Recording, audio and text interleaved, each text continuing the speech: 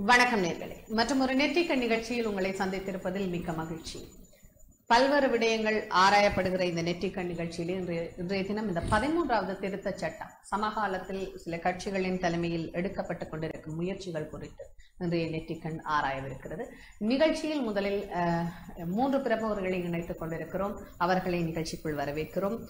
வடக்கு மாகாணத்தின் முன்னாள் அமைச்சராக இருந்த கலாந்தி கந்தையா சர்வேஸ்வரன் அவர்கள் தற்போது உங்களோடு. வணக்கம். வடக்கு மாகாண முன்னாள் உறுப்பினர் கேசவன் சயந்தன். வணக்கம். வணக்கம். அரசியல் ஆய்வாளர் ஜதீந்திரா அவர்களையும் வரவேற்கிறோம். வணக்கம். அதாவது பதிமூன்றாவது திருத்தச் சட்டம் தொடர்பிலே இன்றைய தினம் நாங்கள் ஆராயவிருக்கிறோம். அதற்கு முன்னதாக சில விடயங்களை நான் நேர்களுக்கு தெரியப்படுத்த வேண்டும். இந்தியா வந்து ஆயிரத்தி தொள்ளாயிரத்தி எண்பத்தி ஏழிலே இந்த பதிமூன்றாவது திருத்தச் சட்டத்தை இலங்கை தமிழர்களுடைய பிரச்சனைகளுக்கு ஒரு தீர்வாக முன்வைத்தது. உண்மையில் வடக்கு கிழக்கு இணைந்திருந்த காலப்பகுதிகளிலே இந்த பதிமூன்றாவது திருத்த சட்டத்தினூடாக ஒரு மாகாண சபை முறைமை என்பது ஒரு வரப்பிரசாதமாக அமைந்தது என்றுதான் குறிப்பிட முடியும். அது அதிகாரங்கள் இருக்கிறதா இல்லையா? இந்த அதிகாரங்கள் பறிபோயிருக்கிறதா அந்த விடயங்கள் ஆராய்வதற்கு முன்னதாக மாகாண சபையை அறிமுகப்படுத்தியது அந்த ஆயிரத்தி தொள்ளாயிரத்தி எண்பத்தி ஏழிலே இந்தியாவினால் இந்தியாவின் முயற்சியால் இலங்கை தமிழர்களுக்கு ஒரு பிரச்சனைக்கு ஒரு தீர்வாக முன்மொழியப்பட்ட அந்த பதிமூன்றாவது திருத்தச் சட்டம். அது தொண்ணூறாம் ஆண்டு காலப்பகுதியிலே தமிழீழ விடுதலை போராட்டத்தில் ஈடுபட்டிருந்த சில அமைப்புகள் சில போராட்ட இயக்கங்கள். அது அஹிம்சை அகிம்சை வழியிலான போராட்ட இயக்கமா அல்லது ஆயுத வழியிலான போராட்ட இயக்கமா என்பதற்கு அப்பால் போராட்ட இயக்கங்களின் அந்த வரலாற்று கால பகுதிகளிலே அது எவ்வாறு அந்த அந்த பதிமூன்றாவது திருத்த சட்டம் ஏற்றுக்கொள்ளப்படுவதில் அல்லது அதனை ஏ- ஏற்றுக்கொண்டு தொடர்ச்சியாக அது தொடர்பான விடயங்களை முன்னெடுப்பதில் பாரிய சிக்கல்கள் சிரமங்கள் பல மாற்று கருத்துக்கள் எல்லாம் முரண்பாடுகள் எல்லாம் எழுந்திருந்தன. பின்னரான கால பகுதியில் உங்களுக்கு தெரியும். தமிழ் மக்களினுடைய ஆயுத போராட்டம் என்று குறிப்பிடக்கூடிய தமிழீழ விடுதலை புலிகள் அவர்களுடைய போராட்டம் மௌனிக்கப்பட்ட பின்னர் இரண்டாயிரத்தி ஒன்பதுக்கு பின்னர் பதிமூன்றாவது திருத்தச் சட்டம் மீள பேசு பொருளாக இருக்கிற விடயத்தை நாங்கள் அண்மை காலங்களில் இந்த அரசியல் பரப்புகளிலே அவதானிக்க முடிகிறது. இந்த இந்த விடயங்களின் பால் பதிமூன்றாவது திருத்தச் சட்டத்தில் அஹ், சமஷ்டி நோக்கிய தீர்வு இருக்கிறதா? பதிமூன்றாவது திருத்தச் சட்டம் என்ன சொல்கிறது? அஹ், இது தமிழர்களுக்கு எவ்வளவு பொருத்தமானது என்பதை பல நேரங்களில் பல களங்களில் நாங்களும் கூட பல்வேறு நிகழ்ச்சிகளில் ஆராய்ந்திருக்கிறோம். இது ஒரு தமிழ் தேசிய அரசியல் பரப்பில் ஒரு பேசு பொருளான விடயமாக இருக்கிறது. அண்மையில் நாடாளுமன்ற உறுப்பினர் தமிழரசு கட்சியைச் சேர்ந்தவர் ஸ்ரீதரன் அவர்கள் இந்த பதிமூன்றாவது திருத்தச் சட்டம் குறித்து ஒரு சில கருத்துக்களை தெரிவிக்கிற பொழுது பதிமூன்றாவது திருத்தச் சட்டம் கடந்த தீர்வொன்றை இந்திய அரசாங்கம் முன்வைக்க வேண்டும் என்று வலியுறுத்தியிருந்த விடயத்தை நாங்கள் சுட்டிக்காட்டவன் அதே போல அண்மையில் அஹ், சுன்னாகத்திலே ஒரு அமெரிக்காவிற்கு விஜயம் செய்திருந்து மீண்டும் இலங்கைக்கு திரும்பியிருந்த நாடாளுமன்ற உறுப்பினர் சுமந்திரன் அவர்கள் சுன்னாகத்திலே நடாத்திய ஒரு கூட்டத்தில் இந்த பதிமூன்றாவது திருத்தச் சட்டம் தொடர்பிலே கடுமையாக சில விடயங்களை சாடி இருந்ததை கூட அவதானிக்க முடிந்தது. ஆனால் டெலோவின் தலைமையில் பதிமூன்றாவது திருத்தச் சட்டம் குறித்து ஒரு ஒரு ஒப்பந்தம் பொதுவான ஒரு உடன்படிக்கை கைச்சாத்திடப்பட்டு இந்தியாவிற்கு அழுத்தம் அல்லது இந்த விடயத்தை அமல்படுத்த கோருகிற ஒரு வலியுறுத்தல்களை மேற்கொள்கிற நடவடிக்கைகளை நாங்கள் அண்மை காலமாக பார்க்கிறோம். தமிழ் தேசிய மக்கள் முன்னணியை பொறுத்தவரை பதிமூன்றாவது திருத்தச் சட்டம் என்பதை ஒரு ஆரம்ப புள்ளியாக கூட தமிழ் தேசிய அரசியல் பரப்பில் அல்லது தமிழ் மக்களின் அரசியல் பரப்பில் எடுத்துக்கொள்ளவே முடியாது என்று துண்டர மறுதளித்து வருகிறார்கள் இந்த பதிமூன்றாவது திருத்தச் சட்டத்தை. இப்படி பதிமூன்றாவது திருத்தச் சட்டத்தின் தொடர்பான விடயங்கள் அது தொடர்பான நகர்வுகள் இருந்து கொண்டிருக்கிற நிலையில் அண்மை காலமாக இந்த தமிழ் தேசிய பரப்பில் எடுக்கப்பட்டு கொண்டிருக்கக்கூடிய டெலோ தலைமையிலான முயற்சிகள் அதில் தமிழரசு கட்சி புறக்கணிக்கப்பட்டிருக்கக்கூடிய விடயங்களை நாங்கள் ஆராய வேண்டியது அவசியமாகிறது. நிகழ்ச்சியில் இணைத்துக் கொண்டிருக்கக்கூடிய முக்கிய பிரமுகர்களில் ஒருவரான அரசியல் ஆய்வாளர் ஜதீந்திரா அவர்களிடம் முதலாவதாக வினவலாம் என்று நம்புகிறேன். இந்த தமிழ் தேசிய அரசியல் பிறப்பில் டெலோ தலைமையிலான இந்த முன்னெடுப்புகள் தொடர்பிலே பொது ஒப்பந்தம் ஒன்றில் கைச்சாத்திட்டு இந்தியாவிற்கு ஒரு அழுத்தத்தை கொடுப்பதான இந்த விடயம் தொடர் தொடர்பிலே உங்களுடைய பார்வை என்ன? அடிப்படையான விஷயம் என்னென்னா பொதுவாக இந்த கூட்டம் முதலாவது சந்திப்பு ஒரு யாழ்ப்பாணத்தில் அடுத்த சந்திப்பு கொள்கையிடம் இடம் அஹ், இதனுடைய தொடர்ச்சியாக சந்திப்பு இன்னும் சில தினங்களில் நடைபெறுகிறது. இந்த அடிப்படையில் தான் இந்த அமைக்காலமாக இந்த விடயங்கள் விவாதிக்கிறது ஆனால் நீண்ட காலமாக பதிமூன்றாவது சட்டத்தை பொதுமையாக இதற்கு முன்னரும் பல அவ்வப்போது இந்த விடயம் ஆனாலும் பதிமூன்று தமிழ் மக்களுக்கான இறுதி தீர்வு அல்ல என்பதை சொல்லி வந்திருக்கிறது இப்பொழுது இந்த சந்திப்புக்கு பதிமூன்றை யாரும் அதனோடு தமிழ் மக்களுக்கு இலக்கின்ற வேண்டும் யாரும் விவாதிக்கிறது பேசவில்லை. ஆனாலும் இந்த விடயம் சர்ச்சைக்குரிய விடயமாக பார்த்து எனக்கு விளங்கு ஆனால் இந்த இந்த ஈடுபட்ட கட்சிகள் ஆஹ், எவருமே பதிமூன்று தான் தமிழ் மக்களுக்கான தீர்வு வந்து ஆனால் பதிமூன்றை முழுமையாக அமல்படுத்த கோரிக்கை இந்தியாவை நோக்கி மும்பை அறிக்கையாக தான் இந்த விடயம் பேசியது. இதற்கு முதல் நடந்த விஷயங்களை நாங்கள் இப்போது இணைத்து பார்ப்போம். எனவே இந்திய பரிமாற அமைப்பு டாக்டர் ஜெய்சங்கர் விஜயம் செய்து கூட்டமைப்பு விஷயத்தில் சில விடயங்களை அவர் நீங்கள் இருப்பதை பாதுகாக்கும் நோக்கம் உங்களுக்கு இருக்கிறதா என்ற குறிப்பாக இருந்தால் இந்த கூட்டாபே அரசாங்கம் புதிய அரசியல் யாப்பொன்றை வருமா இல்லையா ஆனால் பேசுகிறது. அதற்குரிய மிக அடிப்படையான இலக்கு வந்து இந்த மாகாண சூழ்நிலை இல்லாமல் வாய்ப்பு கொடுத்தால் இல்லாமல் தான் அணி செயல்படுகிறது சிந்திக்கிறது அது எல்லோருக்குமே தெரியும். இவ்வாறான சூழலில் புதிய அரசியல் காப்பொன்றை கூட்டாவிய ராஜபக்ச தரப்பு முன்வைக்குமானால் அந்த அரசியல் ஜாப்பில் நடக்கப்பட்ட விஷயங்களை வெளித்தரப்புகள் விமான அரசுகளிடையே முடியாது என்பது ஒரு இறமை உள்ள நாடு.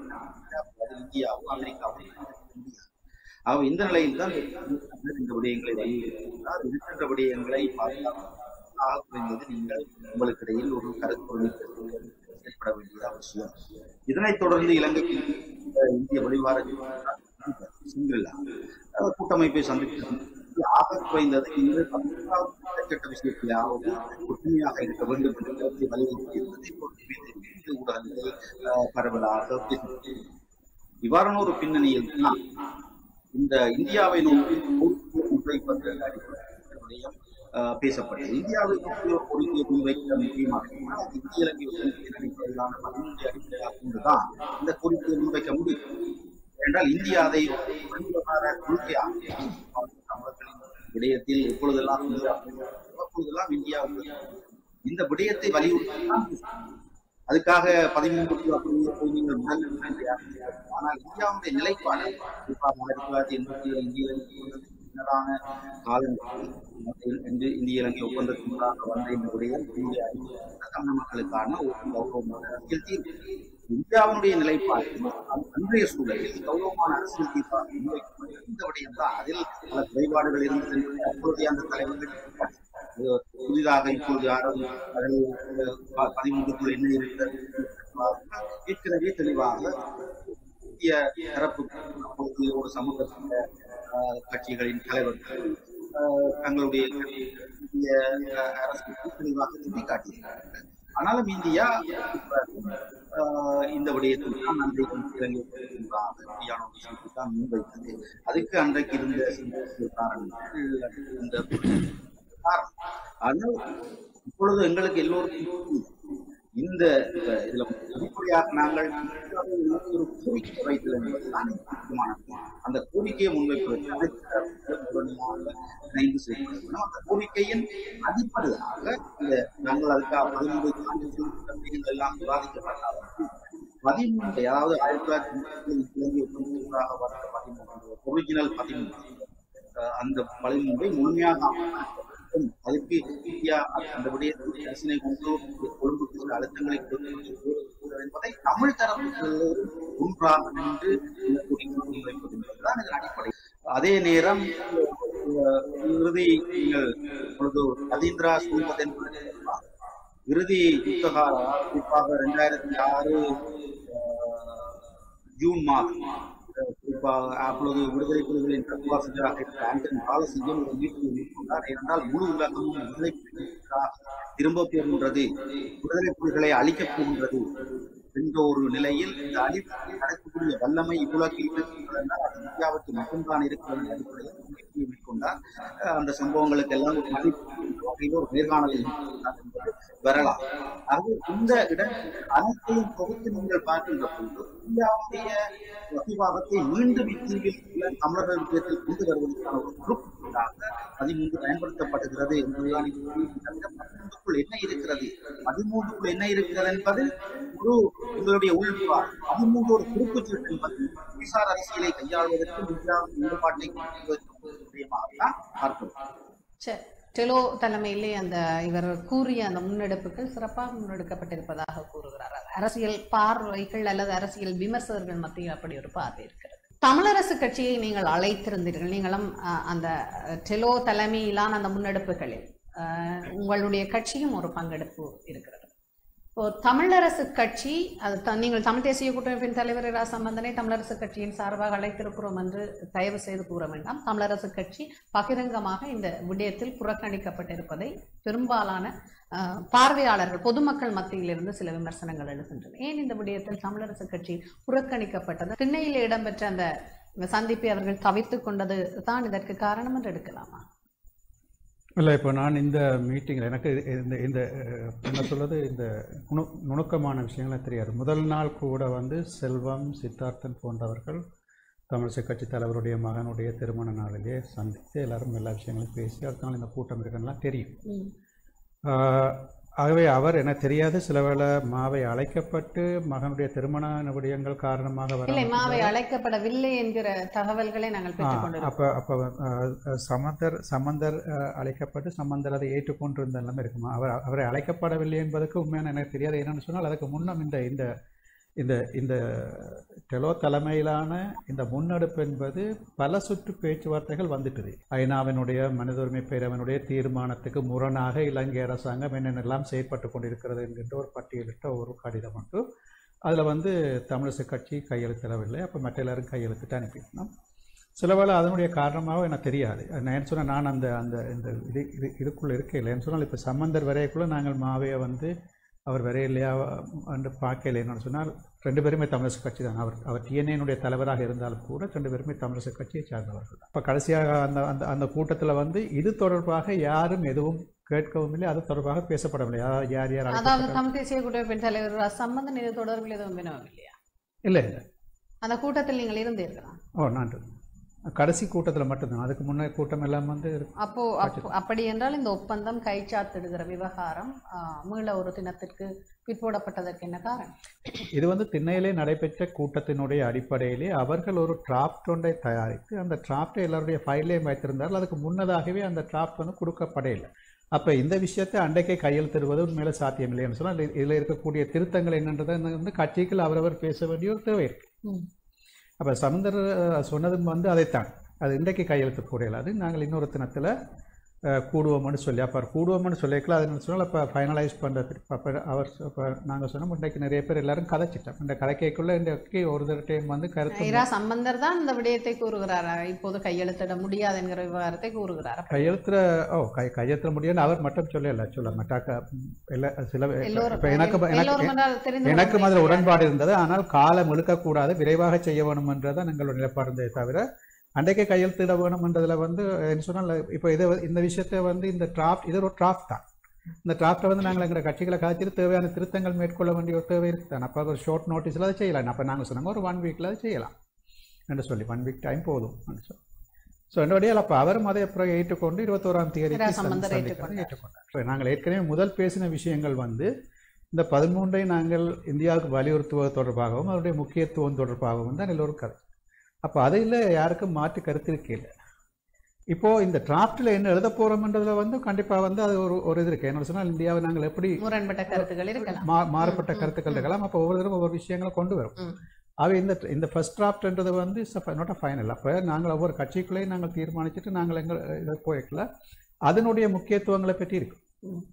அவ இருபத்தொராம் தேதி சில கையெழுத்து இடப்படாமல கூட போகலாம் இல்லைன்னு சொல்லல. என்ன சொல்லலாம் அந்த அந்த அந்த அந்த திருத்தங்களை திட்டம் அன்றைக்கே அப்புறம் நீங்கள் திருப்பி அடிக்க வேண்டிய எல்லாம் இருக்கு தானே. ஒன்றரை நாள் பிந்து போக கூடும். அது எனக்கு தெரியாது. அது நான் இது ஹைப்போதட்டிக்கல் நான் நான் கேட்கிறேன். நிச்சயமாக நீங்கள் சொல்கிற விடயத்தை மறுதளிக்கவில்லை தமிழ் தேசிய கூட்டமைப்பின் தலைவர் இரா சம்பந்தன் கூட்டமைப்பின் தலைவர் ஒரு பொதுத் தலைவர். தமிழரசு கட்சியின் சின்னத்தில் தான் தமிழ் தேசிய கூட்டமைப்பு தேர்தலிலே களமிறங்கி இருக்கிறது. தமிழரசு கட்சி ஒரு பிரதான கட்சி. கட்சித் தலைவர் கூட அங்கு அழைக்கப்படவில்லை என்கிற குற்றச்சாட்டு இருக்கிறது. இப்போ நீங்கள் நீங்கள் எல்லாம் இந்த விடயத்தை ஹம், தமிழரசு கட்சிங்கிறது இப்போது மக்கள் மத்தியில் வாக்கு வங்கிகளில் சரிவை அவர்கள் சந்தித்திருந்தாலும் கூட தமிழ் தேசிய கூட்டமைப்பு என்பது ஒரு அடையாளப்படுத்தப்பட்ட ஒரு கட்சி தமிழ் தேசிய கட்டமைப்பு. அந்த விடயத்தை தமிழரசு கட்சி ஏன் இதில் உள்ள உள்ளடக்கப்படவில்லை? இப்போ பார்த்தா சுமந்திரன் எம்பியை பார்த்தா வந்து இப்போ தமிழ் தேசிய அரசியல் பரப்பில் ஐநாவுக்கு செல்கிறதா இருக்கட்டும் அமெரிக்கா செல்கிறதா இருக்கட்டும் தமிழ் மக்கள் பிரச்சனைகளை ஒரு பொதுவாக பேசுகிற ஒரு அடையாளப்படுத்தப்பட்ட ஒரு தரப்பாக தமிழ் அரசு கட்சி இருக்கிறது. அது மறப்பதற்கு.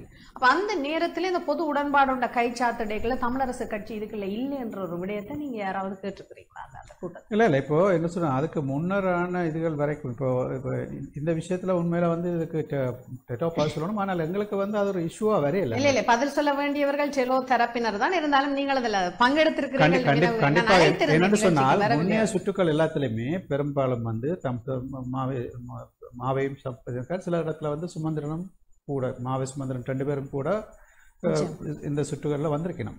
பிறகு பின்னுக்கு அது வந்து ரிவர்ஸ் பண்ணது. ஆனால் வந்து இப்போ இப்போ நான் ஏற்கனவே சொன்ன மாதிரி எனக்கு தெரியாது வந்து இவர்கள் மாவைக்கு இன்வைட் பண்ணவில்லை என்று நீங்கள் சொல்கிறது எனக்கு தெரியாது. உண்மை நான் நினச்சேன் நான் வந்து அவர் வந்து கல்யாணோட காரணமாக தான் வரையிலன்னு ஆகவே நான் அதை ஒரு ஒரு பிரச்சனையாக நான் அதை கேட்கல.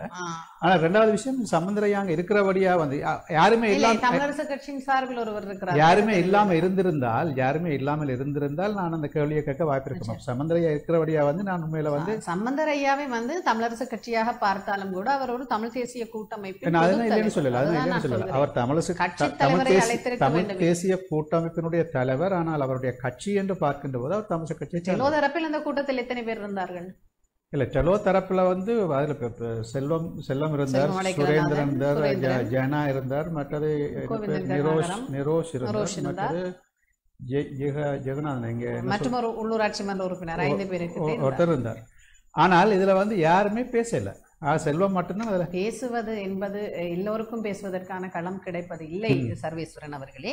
ஆனால் நான் பேசுகிற விடயம் உங்களுக்கு புரிந்திருக்க வேண்டும். தமிழரசு கட்சி இங்கு மறக்கப்பட்டிருக்கிறது. அல்லது தமிழ் தேசிய கூட்டமைப்பின் தலைவரை அழைத்துவிட்டு தமிழரசு கட்சி உள்ளடக்கப்பட்டதாக நாங்கள் வெளியில் காட்டிக்கொள்ள முடியாது என்கிற விவகாரத்தில். சயந்தன் அவர்கள் பதிலளிக்கலாம். தமிழரசு கட்சி அழைக்கப்பட்டதா?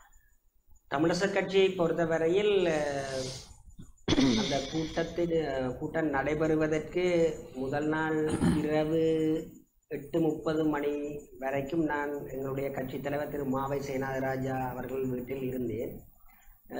என்னோடு பாராளுமன்ற உறுப்பினர் திரு எம். ஏ. சுமந்திரன் அவர்களும் இருந்தார்கள். திருமண வைபவம் நடைபெற்றுக் கொண்டிருந்தது. அந்த கொண்டாட்டங்களின் மத்தியில் இவ்வாறான ஒரு கேள்வி திரு சுமந்திரன் அவர்களால் எழுப்பப்பட்டது. தலைவரிடம் மாவை சேனாதிராஜ். மாவை சேனாதராஜா அவர்களிடம் எழுப்பப்பட்டது. தங்களுக்கு நாளைய கூட்டம் சம்பந்தமாக அழைப்பு ஏதாவது கிடைத்திருக்கிறதா. நான் நினைக்கிறேன் அவர் அன்று பகல் முழுவதும் அந்த கொண்டாட்ட பிஸியில் இருந்திருக்க வேணும். அப்ப அவர் திடீரென்று நீங்கள் சொல்லும் பொழுதுதான் நாளைக்கு இப்படி ஒரு கூட்டத்தை பற்றி எனக்கு அறிய கிடைக்கிறது எனக்கு அழைப்புதல் கிடைக்கவில்லை என்று சொன்னார். அதற்கு பின்னர் நாங்கள் அந்த நிகழ்வை விட்டு வெளியேறுகின்ற பொழுது திரு சித்தார்த்தன் அவர்கள் அந்த கொண்டாட்டத்துக்கு வந்து நுழைந்து கொண்டிருந்தார். அப்ப நாங்கள் நினைத்து கொண்டு வெளியேறினோம். சில சமயங்களில் திரு சித்தார்த்தன் அவர்கள் அந்த அழைப்பை டெலோ சார்பில் கொண்டு வருகிறாரா தெரியாது என்று நினைத்து கொண்டு நாங்கள் வெளியேறிவிட்டோம். ஆனால் மறுநாள் நாங்கள் அறிந்தோம் திரு சித்தார்த்தன் அவர்கள் மூலம் கூட அந்த அழைப்பு கிடைக்கவில்லை நாங்களும் அப்படித்தான் அறிந்திருக்கிறோம். இது சம்பந்தமாக எங்களுடைய கட்சியை பொறுத்தவரையில் என்ன நடந்திருக்கலாம் என்பது தொடர்பாக விரிவாக ஆராய்ந்தார்கள். அப்படி ஆராய்ந்த பொழுது எங்களுடைய தமிழ் தேசிய கூட்டமைப்பு தலைவருடைய அழைப்பை எடுத்து செல்லுகின்றவர்களிடம் தமிழ் தேசிய கூட்டமைப்புடைய தலைவர் திரு சம்பந்தன் அவர்கள் வினவி இருக்கின்றார். வேறு யாருக்கு அழைப்பு இருக்கிறது? என்று அவர்கள் அந்த நேரம் சொல்லியிருக்கிறார்கள் கட்சி தலைவர்களுக்கு மாத்திரம்தான் அழைப்பு உண்டு. அந்த கேள்வியை அவர் கேட்கும் பொழுதே கூறிய ஒரு விடயம் நான் என்னுடன் திரு சுமந்திரன் அவர்களையும் அழைத்து வர வேண்டி இருக்கிறது. அவர் பல விடயங்களை கையாண்டவர் என்ற முறையில் வேறு எந்த நோக்கத்துக்காகவும் அல்ல என்று அவர் குறிப்பிட்ட பொழுது இல்லை நாங்கள் கட்சி தலைவர்களை மாத்திரம்தான் அழைத்திருக்கின்றோம். ஆனபடியால் கட்சித் தலைவர்கள் மாத்திரம்தான் பங்கு பெற்றவர் அப்போ ஒரு ஏற்பாட்டாளர்களுடைய ஏற்பாட்டுக்கு முரணாக எதனையும் செய்ய தலைவர் விரும்பவில்லை. அப்ப அவர் அந்த இடத்தோடு அதை விட்டுட்டார். ஆனால் வேறு கட்சி தலைவர்கள் கேட்டிருக்கின்றார்கள். குறிப்பாக நான் அதை அந்த கட்சித் தலைவர் யாரென்று குறிப்பிடுவது நாகரிகமாக இருக்காது என்றால் தனிப்பட்ட இருவருக்கு இடையில் நடந்த சம்பாஷணை. குறிப்பிட்ட ஒரு கட்சித் தலைவர் கேட்டிருக்கின்றார் சுமந்திரன் இந்த கூட்டத்துக்கு வருகிறாரா அப்படி கேட்ட பொழுது அவர் சொல்லியிருக்கிறார் அந்த அழ- அழ- அழைக்க சென்றவர் சொல்லியிருக்கிறார் அந்த கட்சித் தலைவருக்கு சுமந்திரனை திரு சம்பந்தன் அழைத்து வருவார் ஆகையினால் நாங்கள் அவருக்கு தனியாக அழைப்பிதழ் அனுப்ப தேவையில்லை என்று கூறப்பட்டிருக்கின்றது. அதனை உறு- உறுதியான செய்தியாக எனக்கு கூற முடியும். அதன் பின்னர் திரு சம்பந்தன் அவர்கள் அங்கு கூட்டத்துக்கு சென்று பார்த்த பொழுது மாவை சேனாதிராஜா அவர்கள் அங்கு இருக்கவில்லை. சுமந்திரன் அவர்களையும் அவர் அழைத்து செல்லவில்லை. அப்படியான ஒரு நிலையில் திரு சம்பந்தன் அவர்கள் அந்த கூட்டத்தில் தமிழ் தேசிய கூட்டமைப்பின் தலைவராக மாத்திரம்தான் கலந்து கொண்டிருந்தார். அந்த ஒரு கட்டத்தில் ஒரு கட்சியின் உள் மட்டத்தில் அந்த விவகாரம் பேசப்படாத ஒரு வெறுமை நிலை அங்கே அப்பட்டமாக இருக்கின்றது. ஆகையினால் அந்த காலதாமதம் அல்லது அடுத்த ஒரு திகதிக்கு கூட்டம் தள்ளி வைக்கப்பட்டதற்கு பின்னால் அப்படியான காரணங்கள் இருக்கலாம். அழைப்பு அனுப்பப்பட்டதா தொடர்பில் இதுதான் உண்மை நிலவரம். ஆனால் இவர் சொன்ன அப்புறம் கணக்க விஷயம் எனக்கு தெரியும். ஏன்னா சொன்னால் நான் சொன்ன மாதிரி இப்போ கடந்த இந்த தொடர் கூட்டங்களில் வந்து நான் பங்கு பெற்றேன். இப்போ இந்த ஒரு கூட்டத்தில் நான் பங்கு பெற்றேன். அப்போ இதில் என்னென்னு சொன்னால் எங்களுக்கு இங்கே யாருமே இந்த இஷ்யூவை வந்து அங்கே எடுக்கல. யார் யாருக்கு சொல்லப்பட்டது யாருக்கு சொல்லப்படல. இப்போ எங்களுக்கு தெரியும் வந்து ஸ்ரீகாந்தாக்கு வந்து வர முடியல. அவர் சொல்லியிருந்தார் எனக்கு வர முடியாத ஒரு காரணம். அது மாதிரி சில எனக்கு தெரியும் இவர்கள் யாருக்கு தமிழ் தேசிய மக்கள் முன்னணி அவர்களுக்கு அவர்கள் வந்து நாங்கள் ஃபெடரலை பற்றி கலைக்கிறோன்னா மட்டும்தான் வருவோம் என்று சொல்லி அவர் சொல்லியிருந்தார். ஸோ அப்போ எனக்கு வந்து இந்த இந்த இந்த இந்த இந்த. நுணுக்கமான விவகாரங்கள் உண்மையில எனக்கு தெரியாது. தெரியாது. பதினோராவது திருத்த சட்டத்தை தமிழரசு கட்சி இப்போது தமிழரசு கட்சியினுடைய நிலைப்பாட்டில் பதினோராவது திருத்த சட்டம் சற்று விலகி இருக்கிறது. ஒரு தமிழர் இனப்பிரச்சனையில் ஒரு ஆரம்ப புள்ளியாக அதனை எடுத்துக்கொள்ளலாம் என்கிற போக்குகள் திரு சுமந்திரன் தரப்பிலும். அதனை எடுத்துக்கொள்ள முடியாது அது ஒரு ஆரம்ப புள்ளியே இல்லை என்கிற விவகாரங்கள் கஜேந்திரன் தரப்பிலும் இருக்கின்றன. இப்போ அமெரிக்க விஜயத்தின் பின்னர் இந்தியாவின் நிலைப்பாட்டிலிருந்து தமிழரசு கட்சி புறம் தள்ளி செல்வதாக ஒரு குற்றச்சாட்டு இருக்கிறது. எப்படி பார்க்கிறீர்கள் தமிழரசு கட்சி ஒரு பாரம்பரியமான கட்சி. இன்று எழுபத்தி ரெண்டாவது ஆண்டு விழா. இந்த தமிழ் தேசிய அரசியல் பரப்பில் மிக நீண்ட காலமாக இந்த விடயங்களை கையாண்டு வருபவர்கள். அவர்கள் எந்த முடிவையும் தருணங்கள் பார்த்து எடுக்க மாட்டார்கள். அவர்கள் அலசி ஆராய்ந்து எடுப்பார்கள். இலங்கை இனப்பிரச்சினை விவகாரத்தில் இந்தியாவை புறந்தள்ளி எந்த ஒரு தீர்வையுமே எட்ட முடியாது என்பதில் இலங்கை தமிழரசு கட்சி மிக உறுதியாக இருக்கின்றது. அது அமெரிக்க விஜயம் ஒன்று நடந்தால் என்ன நடைபெறாவிட்டால் என்ன இந்தியாவை புறமுதுக்கி ஒரு தீர்வை எட்ட முடியாது என்பதில் தமிழரசு கட்சி மிக ஆணித்தரமான உறுதிப்பாட்டோடு இருக்கிறது. ஆகையினால் இந்தியாவிலிருந்து தமிழரசு கட்சி விலகி செல்கின்றது என்ற குற்றச்சாட்டு நிச்சயமாக ஏற்றுக்கொள்ளப்பட முடியாதது. ஜதீந்திரா அவர்களிடம் பெறலாம். அரசியல் விமர்சகராக நீங்கள் வந்து எதிர்க்கட்சி தலைவராக இருந்தபோது இரா சம்பந்தன் அவர்கள் இந்தியாவை புறந்தள்ளி நடந்ததாக அல்லது ரணில் மைத்ரியினுடைய அந்த புதிய அரசியல் யாப்பை உருவாக்கத்திலே இந்தியாவிடம் சில ஆலோசனைகளை கேட்கவில்லை என்கிறது போலாக உங்கள் விமர்சன கருத்துக்களை முன்வைத்து வருகிறீர்கள். இப்போதும் அதே பிள்ளையை தமிழரசு கட்சி செய்வதாக எண்ணுகிறீர்களா? இல்ல இதுல வந்து இந்த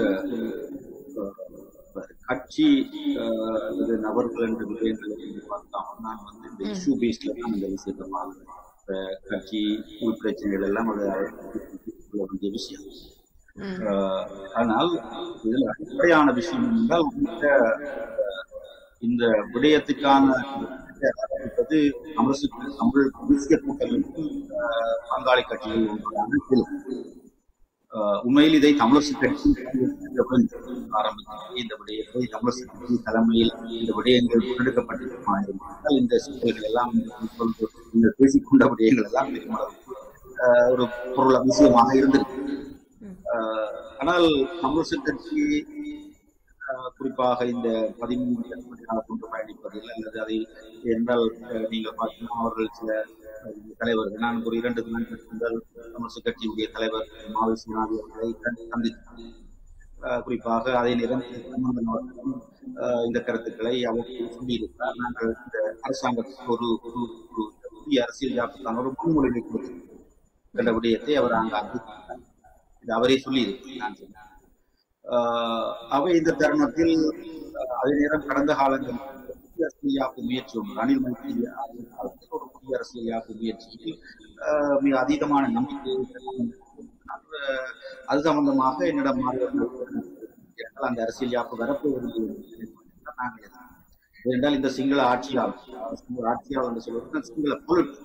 இது வந்து மிக இலகுவாக வந்து மக்களுக்கு ஒரு நியாயமான தீர்வை தருவதை விடப்போவதில்லை அது இன்று வருகின்ற பொழுது கொண்டு வந்ததை என்பது இதுதான் வரலாறு நிச்சயமாக இது எங்கேயோ இடத்தில் நடக்கும் என்பதை நாங்கள் ஏற்கனவே தெளிவாக சொல்லியிருந்தோம். அப்படித்தான் நடந்தது.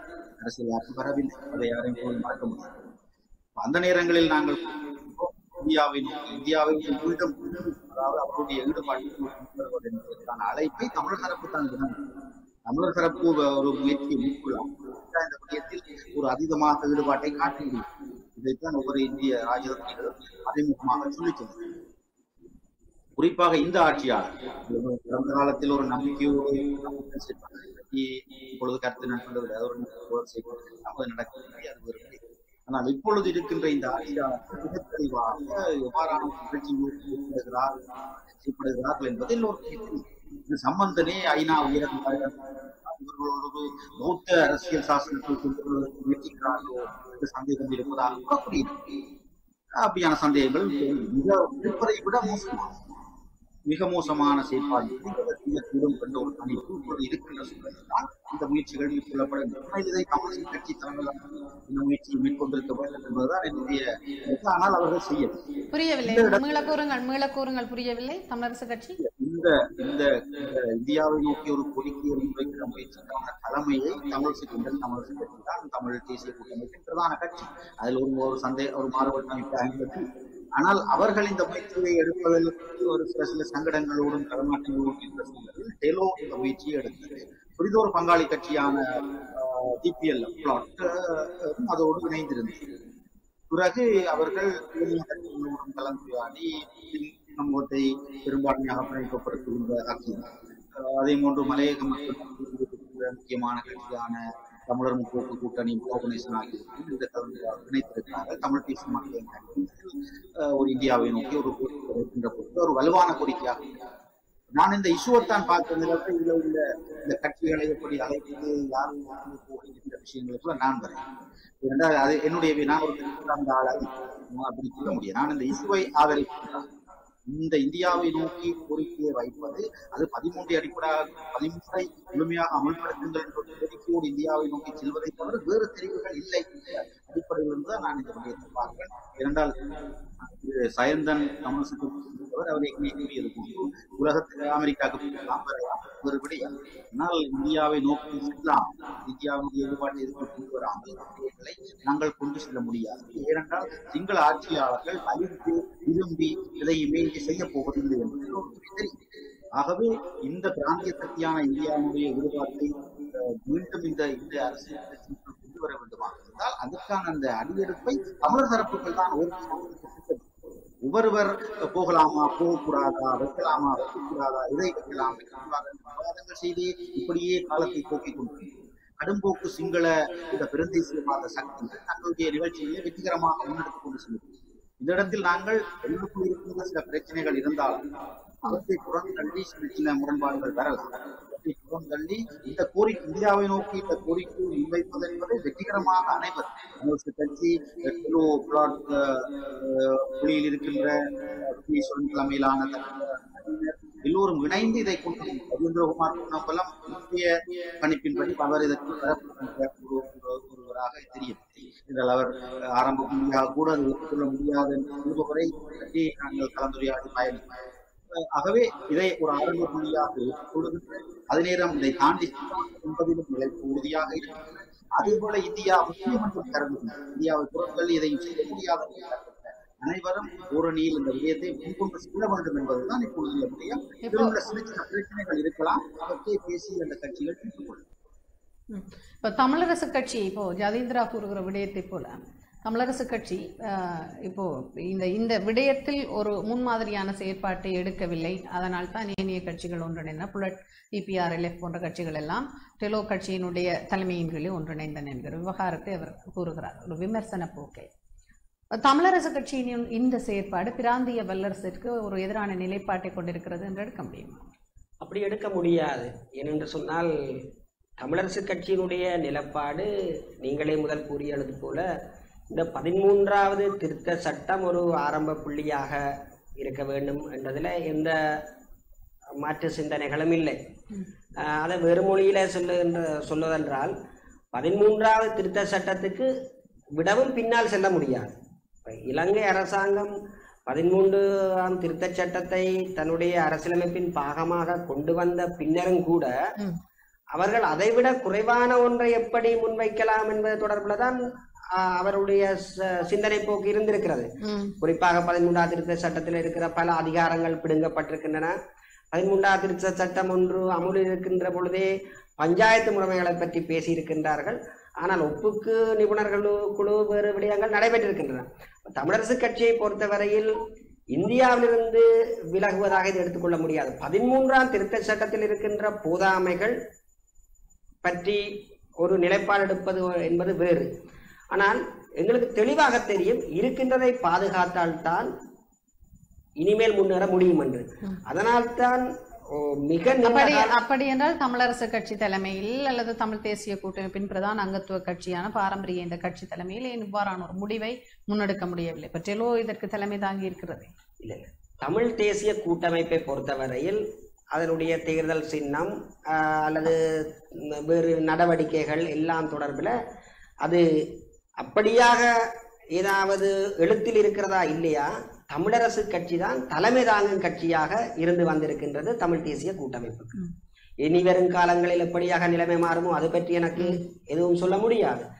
அப்படியான ஒரு நிலையில் ஏதோ ஒரு கட்சி திடீரென்று நாங்கள் இதை தொடங்குகின்றோம் என்று முன்னெடுக்க அதனை தமிழரசு கட்சி தொடங்காதபடியால் தான் நாங்கள் முன்னெடுத்தோம் என்ற ஒரு முடிவுக்கு வர முடியாது. நாளைக்கு திடீரென்று நீதியரசர் விக்னேஸ்வரன் இது மாதிரி ஒரு கூட்டத்தை இல்ல இல்ல நான் ஆரம்பித்து நான் கேட்பது தமிழரசு கட்சி ஏன் அதற்கான பிரயத்தனங்களை எடுக்க பிரியத்தனங்கள் எடுக்க முடியாதுன்னு சொல்ல. ஏற்கனவே ஒருவர் தொடங்கிவிட்டார். ஏற்கனவே ஒரு கட்சி தன் தான் தோன்றித்தனமாக தொடங்குகிறது.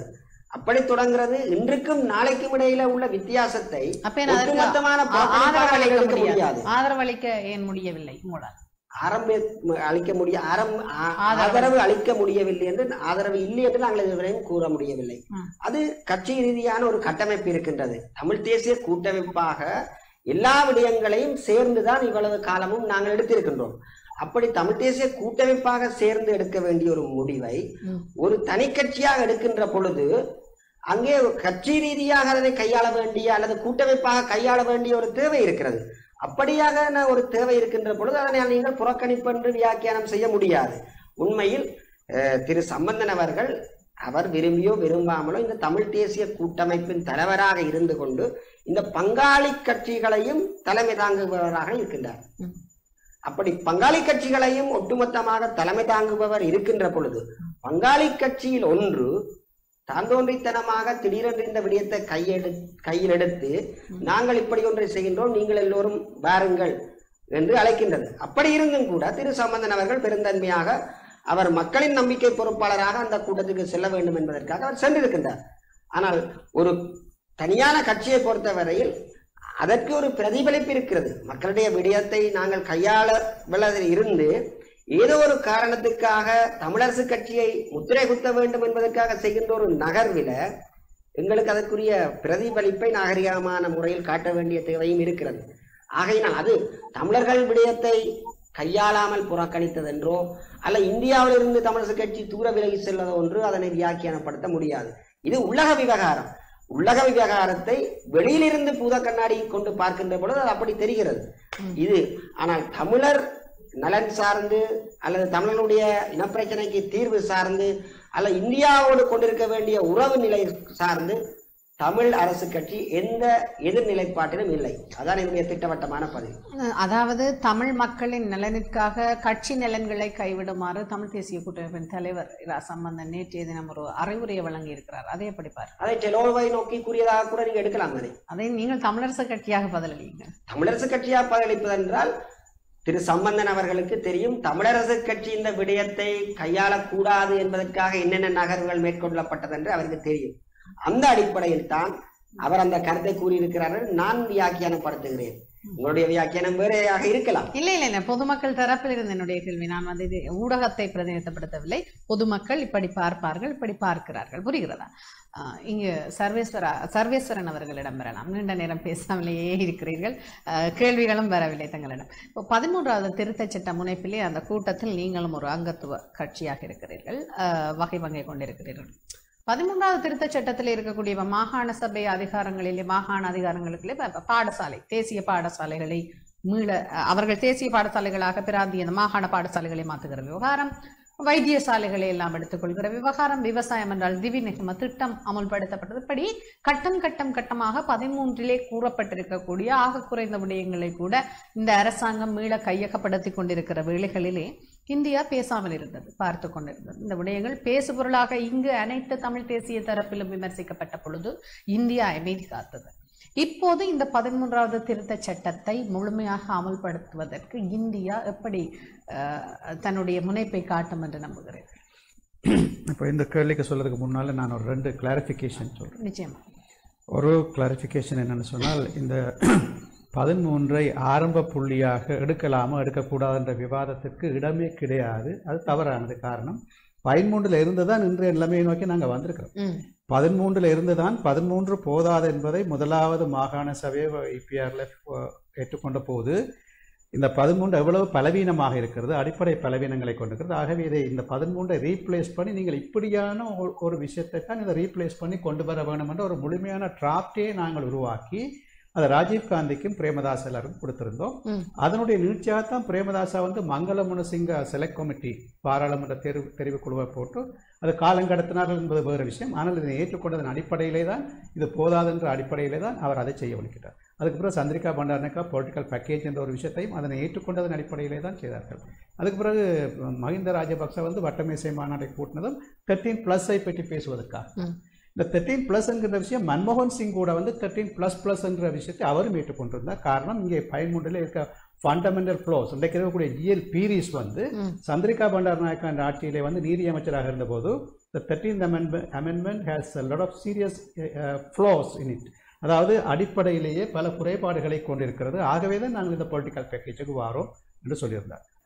சமுதிர ஐயா சொன்ன மக்கள் நலனுக்காக கட்சி நலனை பின்னுக்கு விட்டு மக்கள் நலனை முன்னுக்கு கொண்டு செல்லும் இந்த இந்த விஷயத்தை நான் பல தடவைகள் நானே பல மேடைகளில் மாவை அவர் கேட்கல சமுந்தரையார் கேட்கலையும் பேசியிருக்கிறேன் ப- பகிரங்க மேடையிலையும் பேசியிருக்கிறேன். கட்சிக்குள்ள வந்து இணைப்பு குழு கூட்டத்திலையும் சொல்லியிருக்கிறேன் இன்றைக்கு அவர் அதை உணர்ந்திருக்கிறார் என்பது கொஞ்சம் சந்தோஷமான விஷயம். இப்ப அவர் அவர் சொன்ன கருத்தோடு ஒப்பிடும்போது இப்போ நான் சேந்தனிடம் வினவிய போது சேந்தன் டெலோ டெரோ அப்படி எடுத்துக்கொள்ளலாம் என்று சு- கூறி கூறி இல்ல நான் இது நான் நான் இப்ப வந்து எந்த ஒரு கட்சிக்கும் பிளேம் பண்ணல.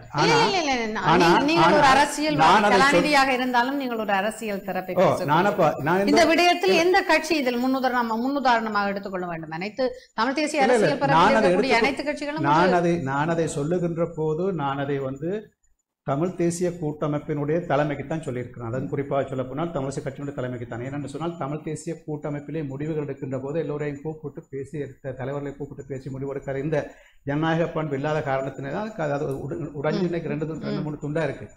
அவ இந்த இதனால தான் நான் அந்த அந்த அந்த கருத்துக்களை நான் முந்தி சொல்லி கொண்டு வந்தேன் பட் எனிவே இப்போது இப்போ இப்போ நீங்கள் சொன்ன இதில் இந்த எங்களுடைய பதிமூன்றாவது திருத்தத்திலிருந்து பல விஷயங்கள் பின்னே போய் கொண்டிருக்கின்றன ம்.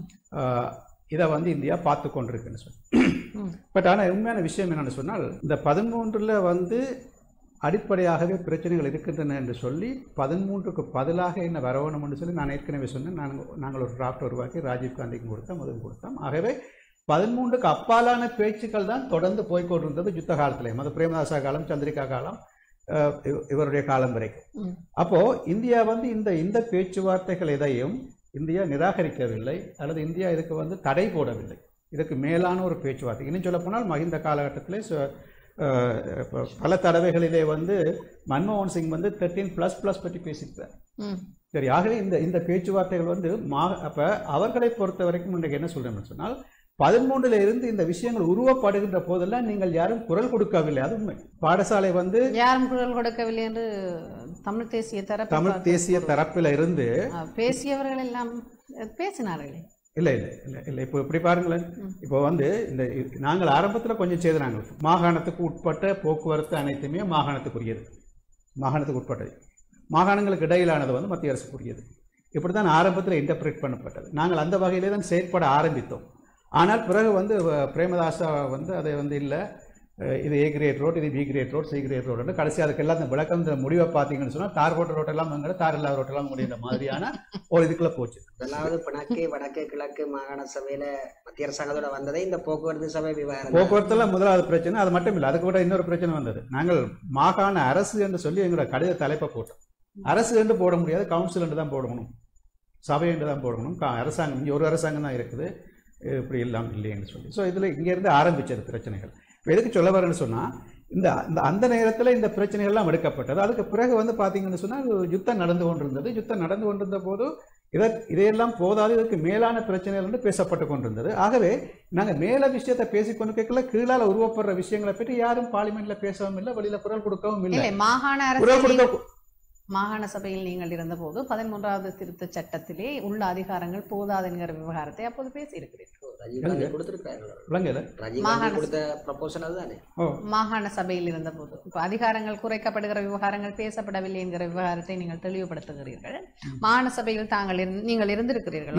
இப்ப நான் சொல்றது எப்படின்னு சொன்னா இல்ல இல்ல நான் இந்த கடந்த மாகாண சபையிலே கடந்த. மாகாண சபை நீங்கள் சரி. இப்ப அங்க நான் சொல்றது நான் சொல்றது வந்து இப்ப நீண்ட காலமாக அது நடக்கல ரெண்டாயிரத்தி பதிமூன்றாம் ஆண்டிலே இந்த மாகாண சபை மீள தேர்தல் நடைபெற்ற போது முதலமைச்சராக இருந்த சி. வி. விக்னேஸ்வரன் சந்தர்ப்பம் இருந்தது. நிறைய விடயங்களை பேசி இருக்க முடியும். தமிழ் மக்கள் பேரவை இரண்டாயிரத்தி பதினாறில் தான். ஆனால் அதான் நீங்கள் அந்த ஒப்பீட்டு அடிப்படையில் பேசி பேசியிருந்தீர்கள். இந்த இந்த விடயம் தொடர்பாக ஜதீந்திராவிடம் வினவலாம் தொடர்ச்சியாக. உண்மையில் இந்த ரெண்டாயிரத்தி மூன்று மகாசபை அதாவது இந்த விக்னேஸ்வரன் தலைமையிலான மகாசபை ஆனால் அது அது அதாவது விக்னேஸ்வரன் எல்லோருக்கும் தெரிந்த விஷயம். அது வந்து ஒரு கட்சி பிரச்சனைகள் ஒரு மகான் சபையாக தான் இருந்தது. அதை யாருக்கும் மாற்றுக்கிறது முடியாது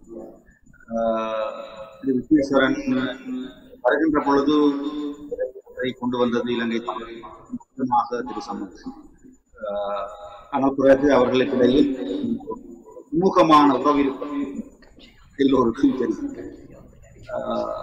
இந்த நிலையில் சபை கையாளுவது என்பதை பார்த்தால் முதலில் தன் மாகாண சபை இருக்கிற இரண்டு இடையில இருக்கிற பிரச்சனையை தீர்ப்பதை ஒரு பெரிய தனியார் முக்கியமாக மாறும் இந்த நிலையில் மாகாண சபையை கையாளுவது என்ற விஷயம் இரண்டாம் நிலைக்கு.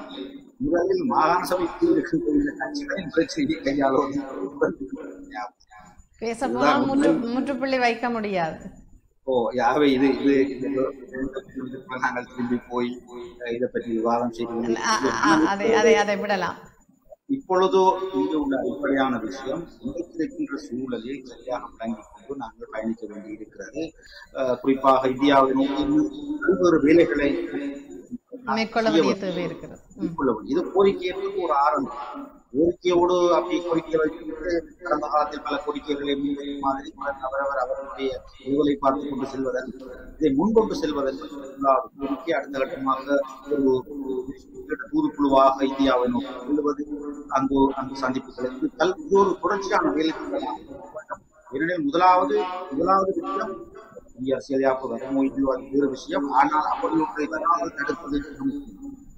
அதை தடுப்பதுதான் இப்போது தமிழர்கள் முதலாவது என்றால் அது உங்களுக்கு எங்களுக்கு தெரியும் எழுபத்தி ரெண்டு எழுபத்தி ரெண்டு நாங்கள் ஏற்றுக்கொள்ளாவிட்டால் கடந்த எழுபத்தி எட்டாம் ஆண்டுக்கு பிறகான இந்த நாங்கள் ஏற்றுக்கொள்ளாத யாப்பை இந்த ஆட்சி செய்யப்படுகிறார் என்பதை நாங்கள் மறந்துவிடக்கூடாது.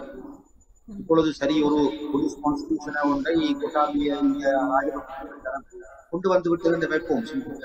ஆதரவு.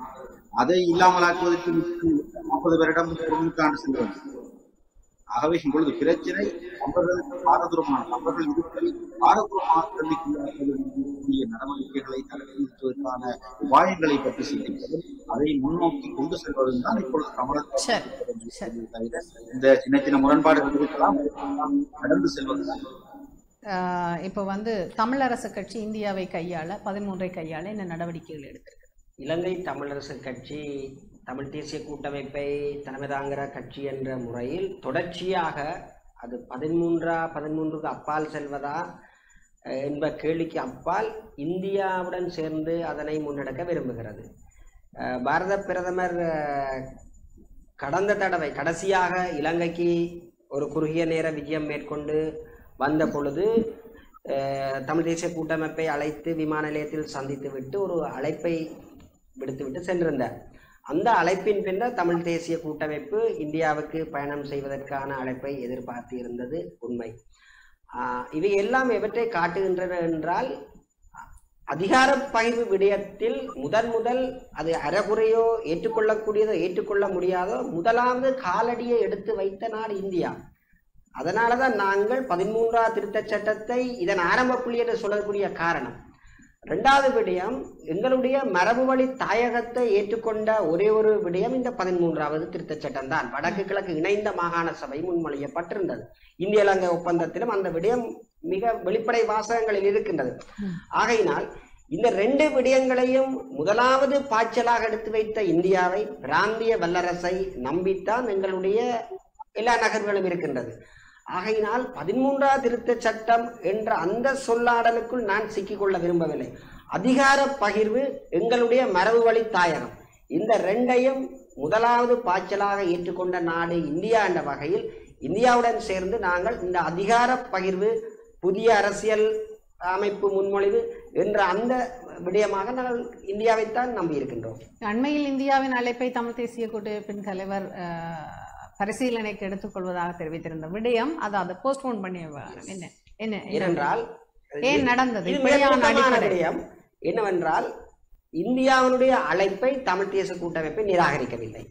ஆனால் பிரத்யேக காரணங்களுக்காக பிற்போடப்பட்டது பிற்போடுதலை நிராகரிப்பு என்று நாங்கள் எடுக்க கொள்ள பிற்போடப்பட்டது இப்போ எங்களுக்கு தான் பிரச்சனை. நாங்க தான் விரைவாக அந்த சந்திப்பை ஏற்பாடு செய்ய வேண்டிய. பிற்போட்டதற்கான காரணம் என்ன? திரு சம்பந்தன் அவர்களுக்கு சில தனிப்பட்ட சிக்கல்கள் இருந்தன. அந்த சிக்கல்களுக்கு மத்தியில் ஒரு அவசரமான பயணத்தை அவருக்கு மேற்கொள்ள முடியாமல் இருந்தது. அது அதை பற்றி விமர்சிப்பவர்கள் விமர்சிக்கலாம்.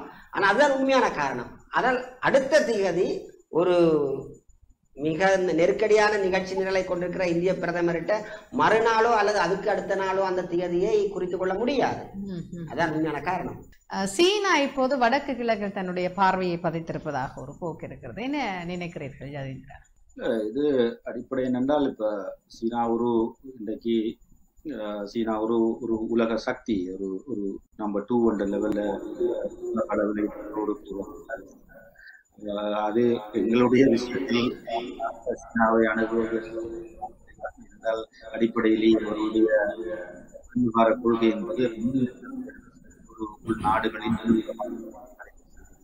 அது எல்லாம் அந்த பொருளாதாரமாக அதை இலங்கை இலங்கா பார்த்துக் கொள்ள வேண்டிய மயில் உங்களுக்கு தெரியும். யாழ்ப்பாணத்துக்கு விஜயம் செய்திருக்கிற வாய்ப்பு கிடைத்தது. கம்பீராகவே இந்த ஆம், ஆனால் ஆகவே இந்த இலங்கை தீவை மைய முக்கோண ஆஹ், புவிசார் அரசியல் இந்தியா சீனா அமெரிக்கா அமெரிக்காவும் இந்தியாவும் சீனாவை ஒரு வரையறை அடிப்படையில் மூலோபாயாக இணைந்து செய்யும் அவை இந்தியாவும் சீனா அமெரிக்காவும் இந்த தங்களுடைய நலன்கு அடிப்படையாக மேற்கொண்ட பொழு மேற்கொள்ளுகின்ற பொழுது சீனாவும் தன்னுடைய நலன்களை அடிப்படையாக அதன் நாய்களை நடத்த முற்படுகிறது என்பதுதான் இந்த யாழ்ப்பாண விஜயத்தினுடைய வெளிப்பாடு. யாழ்ப்பாண விஜயம் என்பதை விட யாழ்ப்பாண விஜயத்தின் போது தெரிவித்த தமிழ் மக்களோடு தாங்கள் உறவுகளை ஏற்படுத்தியிருக்கிறோம் ஏனென்றால் நீண்ட காலமாக தமிழ் மக்களுக்கு இடையில் வரலாற்று என்ற கருத்துக்களை எல்லாம் அவர் தெரிவித்திருக்கிறார். நல்லூர் கோயிலில் கட்டி கொண்டு இருக்கிறார் அதே நேரம் அவர் விஜயம் நீங்கள் பார்த்தால் இந்த இந்திய மீனவர்கள் தொடர்பாக அதிர்ச்சி உள்ள இடங்களுக்கு அவருடைய விஜயங்கள் அமைந்திருக்கின்றன குறிப்பாக இந்த இந்த கரையோர பகுதிகளுக்கு சென்று அங்கு மீனவர்கள் மன்னாருக்கு சென்று அவர் அங்கு இந்தியாவிற்கான தூரத்தை விசாரித்ததாகவும் அறிகிறோம். உணவு பருத்தித்துறை மன்னர்.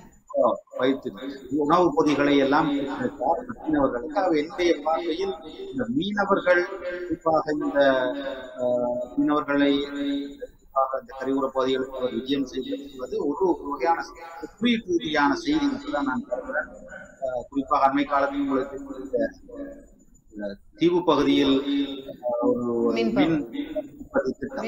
இந்த ஹைபிரிட் இதொன்று காற்றாலை மற்றும் அடுத்தது சோளம் மற்றும் சேர்ந்த மாதிரியான ஒரு ஹைபிரிட் உற்பத்தி நிலையத்தை சீனாவில் நிறுவனம் ஒன்று அதை எடுத்து இன்வெஸ்ட் பண்ண இருந்த பின்னர் அந்த திட்டம் கைவிட்டதாக சீனா விஷயங்கள் வந்தது. அதை ஜப்பானத்தில் வைத்தார்கள் கைவிடப்படவில்லை என்றும் சீன தூதுவர் சொன்னார் கரையோர பகுதிகளுக்கு செய்து பல ஆம். ஜதீந்திர அவர் பல விடயங்களை கையாண்டிருந்தார். இப்போ இந்தியா விடுகிற தவறுகளை சீனா கையாள முயல்வதாக பார்க்கிறீர்களா? நான் அப்படி பார்க்கவில்லை. ஒரு என்னென்றால் இப்படியான விடயம் என்னென்றால் இந்தியா தவறு விடுகிறதா தவறு விடுகிறது என்பது ஒரு தமிழ் நிலைப்பாடு தமிழர்கள் தரப்பில் பல்வேறு விஷயங்கள் இருக்கின்றன. இப்பொழுது நான் அந்த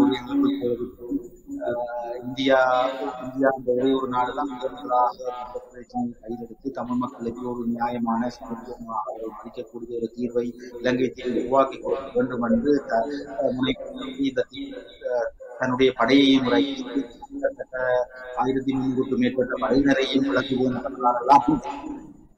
ஆனால் இப்பொழுது நான் விரும்பவில்லை.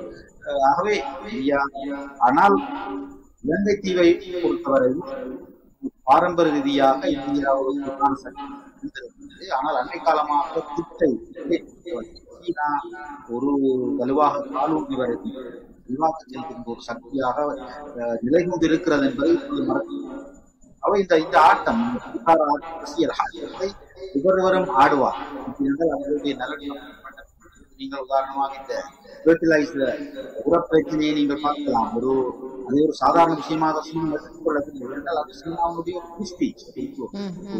கௌரவம் சார்ந்த பிரச்சனை ஒரு உலக சக்தி உரத்தை ஒரு சாதாரண உங்களிடம் வாங்குகின்ற ஸ்ரீலங்கா அதனுடைய தரத்தை பற்றி பேசுவதா? அடிப்படையில் இருந்துதான் கடுமையான சில அழுத்தங்களை சீனா கொடுத்தது இலங்கை. அது என்னென்றால் நாங்களுக்கு ஒரு பிளே உங்களை வந்து அமெரிக்கா எப்படி அஹ், அமெரிக்காவுடைய அமெரிக்காவோடு செய்கின்ற உடன்பாடுகளை சீனால் அமெரிக்கா எப்படி நடத்தி கொள்ளும் கிட்டத்தட்ட இப்பொழுது சீனாவும் அப்படியான காண்பிக்கும் காரணம் அது ஒரு ஒரு ஒரு- பெரிய சக்தியாக இப்பொழுது இருக்கிறது. அஹ், வடகிழக்கை நோக்கி குறிப்பாக எதிர்காலத்திலும் சீனா அப்படியான நபர்களை மேற்கொள்ளலாம். ஆனால் இது தொடர்பாக எதிர்பார்க்கலாம். அதே நேரம் இன்னொரு விஷயத்தை நாங்கள் பார்க்க வேண்டும். தமிழ் தேசிய கூட்டமைப்பு அஹ், மிக வெளிப்படையாக சீனாவுடைய பிரசன்னர் இனி இனியவர்களும் ஆங்காங்கே சொல்லியிருக்கிறார்கள். ஆனால் பிரதான கட்சி என்ற வகையில் தமிழ் கூட்டமைப்பு சீனாவுடைய சீனாவுடைய பிரசனத்தை தாங்கள் நம்பவில்லை என்ற கருத்தை அஹ், பகிரங்கமாக பொதுவெளிகளில் அண்மையில் அமெரிக்காவுக்கு சென்ற சிறுவனர் கூட அங்கே சீனாவுடைய பிரசங்கம் படங்கள் அமெரிக்கா வாய்ப்பிருக்கிறது அதை தாங்கள் விரும்பவில்லை. எதிர்ப்போம் என்று சொன்னதாக அந்த சந்திப்பில் கலந்து கொண்ட இரண்டு புலம்பெயர் பிரதிநிதிகள் ஒரு நேர்காணலை தெரிவித்திருக்கிறது அதே போன்று சம்பந்தன் சம்பந்தன் அவர்கள் இந்திய வெளிவார செயலர் நர்ஸ் வரதனை சந்தித்த வேளையிலும் வடக்கு கிழக்கு சீனாவுடைய பிரசனத்தை தாங்கள் ஆதரிக்கப் போவதில்லை. நாங்கள் அதை விரும்பவில்லை என்று என்று கருத்தை வலியுறுத்தி இருக்கின்றார் அப்படியான காரணங்களில் சீனா இப்போது தமிழ் மக்களோடு எங்களுக்கு வரலாற்று உறவுகளை ஏற்படுத்த விரும்புகின்றோம் என்று யாழ்ப்பாணத்தில் போன்று பேசுவதற்கு காரணங்களாக சீனாவினுடைய காலூன்றுதல் என்பது வெறுமனே காபரை எடுத்தது அல்லது பதினையாயிரம் ஏக்கர் அல்லது போர்ட் சிட்டி போன்ற விடயங்கள் மட்டுமல்ல இன்னும் இன்னும் சொல்லப்போனால் அது வந்து கிட்டத்தட்ட இங்கே இருக்கக்கூடிய ட்ரேட் யூனியன்ஸ் உட்பட்ட பல்வேறு தரப்புகளையும் தனது கட்டுப்பாட்டுக்குள் கொண்டு வந்து ஏதோ ஒரு வகையில் இன்ஃப்ளூயன்ஸ் அதாவது பண்ணி வச்சிருக்குது. என்னென்னு சொன்னால் இந்தியாவுக்கு கிழக்கு முனையம் கொடுக்கக்கூடாதுன்னு சொல்லி பெரிய ஸ்ட்ரைக் எல்லாம் நடந்தது. அந்த ஸ்ட்ரைக்கை நடத்தின ட்ரேட் யூனியன் எல்லாம் வந்து சீனா சாகுண்டை சீனாவுக்கு சீனா எதை செய்தாலும் சீனாவுக்கு எதிரான சீனாவுக்கு ஏதாவது கொடுக்கப்பட போகிறதா இல்லை சீனா ஏதாவது கேட்கிறதா என்பதற்கு எதிராக எந்த ஒரு எதிர்ப்பும் இன்னும் வரவில்லை. நீங்கள் போனால் அந்த உரக்காப்பலை கொண்டு வந்து கடலுக்குள்ள விட்டு போட்டு சண்டித்தனம் பண்ணி கொண்டு இன்றைக்கு அதுக்கு மிகப்பெரிய ஒரு தொகையை கொடுக்க போகிற அந்த காசு எங்களோட வரிப்பணம் எந்த மக்களும் எந்த ஒரு ட்ரேட் யூனியனும் அதுக்கு எதிராக குரல் கொடுக்கல மாறாக வந்து பார்த்தீங்கன்னு சொன்னால் அமெரிக்காவுக்கு நாற்பது வீதமான பங்குகள் கொடுக்கப்பட்டதாக அதுக்கு எதிரான போராட்டம் நடைபெற்றுக் கொண்டிருக்கிறது. இந்தியாவுக்கு வந்து கிழக்கு முனையம் கொடுக்கப்படக்கூடாது அது கொடுக்கக்கூடாதுன்னு சொல்லி போராட்டங்கள் நடைபெறுகின்றன. ஆகவே சைனாவினுடைய இலங்கைக்குள்ளே இருக்கக்கூடிய காலூன்றுதல் என்பது வெறுமனே நாங்கள் அந்த இடத்தையும் அந்த இது மட்டுமல்ல அது பெருமளவுக்கு இலங்கை விஸ்தீர்ணம் அடைந்திருக்கிறது விஸ்தீரணம் அடைந்து அதாவது ரூட் அது வேரோடி. இருக்கிறது. உள்ளுக்குள்ள உள்ளுக்குள்ள நன்றாக வேரோடி இருக்கிறது அவை இந்தியாவினுடைய தேசிய பாதுகாப்பிற்கு கண்டிப்பாக இது மிகப்பெரிய ஒரு குந்தகமான ஒரு விடயமாக இந்தியா வந்து இதற்கு இதற்கு மாற்று நடவடிக்கைகள் எடுக்க வேண்டிய தமிழர் தரப்புகளை ஆகவே என்ன இல்லை ஏதோ நான் வந்து ஒரு கொலை விட்டு போட்டு கூத்து பார்க்குறேன்னு இல்லை பட் இந்தியாவுக்கு கண்டிப்பாக என்னோட சொன்னால் இந்தியாவினுடைய நலன்களும் எங்களுடைய நலன்களும் பின்னிப்பிணைந்தவையாக இருக்கு அவ இந்த இடத்துல இதை பற்றி நாங்கள் எந்த அளவுக்கு கையாளப் போகிறோம் அது கண்டிப்பாக ஒரு முக்கியமான ஒரு விடயமாக நான் பார்க்கிறேன். நன்றி. இந்நிகழ்ச்சியில் கலந்து கொண்டிருந்த மூன்று பிரமுகர்களுக்கும் அஹ், நேற்றிக்கண் சார்பிலே நன்றிகள். நன்றி. பதிமூன்றாவது திருத்தச் சட்டம் தமிழரின் அஹ், இனப்பிரச்சினைக்கான சமகால பேச்சுக்களின் ஒரு ஆரம்ப புள்ளி என்கிற தரப்புகள் இருக்கின்றன. இப்போது அது ஆரம்பமே இல்லை அது ஒரு விடயமே இல்லை என்கிற தரப்புகளும் இன்றும் அரசியல் பரப்பிலே தமிழரனுடைய தமிழரினுடைய கொள்கைகளை வலியுறுத்தி தங்களுடைய கொள்கைகளில் மாற்றமில்லை என்கிற பிரசாரங்களை முன்னெடுத்திருக்கின்றன. எது எவ்வாறாக இருப்பினும் இந்த நிகழ்ச்சியின் இறுதியில் இந்த சீன விவகாரத்தை நாங்கள் உள்ளடக்கியதன் காரணம் இறுதியில் சர்வேஸ்வரன் அவர்கள் பதைந்துவிட்டு சென்றிருந்தார். இப்போது இந்த தருணத்தை தமிழர்கள் எப்படி பயன்படுத்திக் கொள்ளப் போகிறார்கள். இப்போ சீனா வந்து வேரூன்றி இருக்கிறது. பல கோணங்களிலும் இலங்கையில் வேரூன்றி இருக்கிறது. இந்தியாவை தவிர்த்துவிட்டு இலங்கை தமிழர்களுடைய இனப்பிரச்சனைக்கு எப்போதும் தீர்வு காண முடியாது. ஆகவே இந்தியாவை இந்த விவகாரத்தில் இப்போ சீனாவினுடைய ஆதிக்கம் இலங்கையில் இவ்வாறு வேரூன்றுகிற பொழுது இந்தியா எவ்வாறு இந்த தமிழர் இனப்பிரச்சனையில் ஒரு தீர்வை வழங்குவதற்கு முன்னாயத்தம் அல்லது மும்முரமாக செயற்பட போகிறது என்கிற விவகாரத்தை அனைத்து தமிழ் கட்சிகளும் பரவலாக முன்னோக்கி தங்களுடைய தமிழ் தேசிய கூட்டமைப்பின் தலைவர் கூறியதைப் போல ஏலவே பலர் கூறியிருந்ததைப் போல மக்கள் நலன் சார்ந்து கட்சி நலன்களை விடுத்து இந்த விவகாரத்தில் சிந்தித்து ஒருநிலை ஒருநிலைப்பட்ட கருத்தோடு எல்லோரும் ஒரு சேர பாதையில் வர வேண்டும் என்பது எங்களுடைய அவாவும் கோரிக்கையும் கூட. மீண்டும் மற்றும் ஒரு நெற்றிக்கணில் சந்திக்கிறேன். வணக்கம்.